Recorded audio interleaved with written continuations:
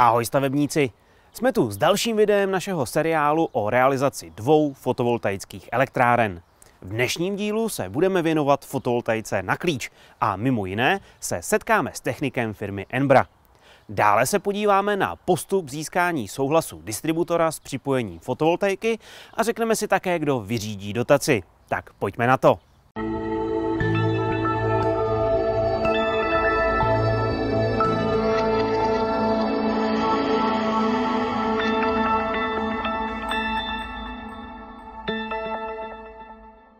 úvodním videu jsem vám prozradil, že jsme s poptávkou fotovoltaické elektrárny oslovili 13 dodavatelů.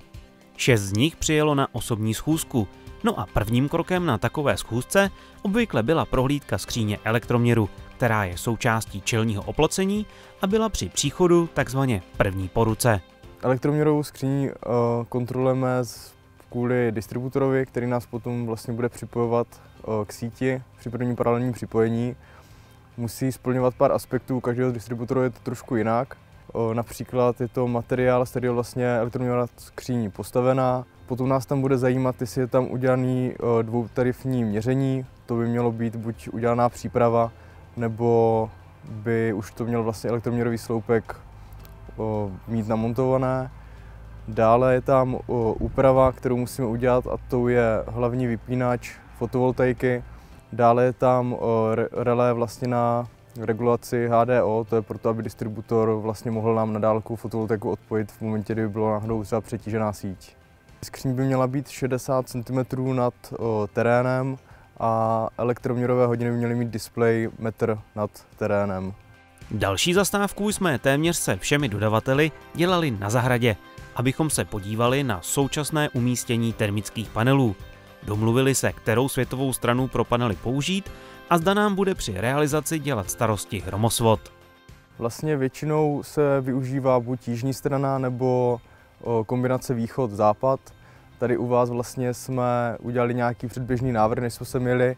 Podívali jsme se na střechu a měli jsme asi dvě různé varianty. Pak tady při naší domluvě jsme se zhodli na variantě jih a západ. Jižní stranu jsme nevyužili úplně naplno, protože už tady vlastně máte namontované solární kolektory, takže jsme dali 9 panelů na jižní stranu, 15 panelů na západní stranu, což nám vlastně vůbec nevadí, protože si tím akorát prodloužíme výrobu do pozdních hodin odpoledních. Vzdálenost panelu od hromosvodu si počítáme pomocí vzorečku, většinou je to standardně kolem 50 cm. Třeba u vás jsme dělali konkrétně úpravu, museli jsme si jeden rožek vlastně hromosvodu posunout, Samozřejmě při takovéhle úpravě je potřebná revize, kterou vlastně zajistí náš revizní technik, který, který dělá revizi na kompletně celou elektrárnu. Posledním stanovištěm je technická místnost, respektive prostor, ve kterém se plánuje umístění jednotlivých komponent fotovoltaické elektrárny a kontrola domovního elektrorozvaděče. Zjednodušeně řečeno, fotovoltaická elektrárna se nám skládá z panelů, střídače, baterií, rozvaděčů, a ka- propojovací kabeláže. Pokud bychom chtěli všechny komponenty namontovat na jednu stěnu, tak bychom měli mít přibližně plochu o rozměru 200 na 150 cm. Při naší realizaci budeme používat střídač Enbra FV INV10, který má rozměr 52 x 41 cm a na hloubku měří 22 cm.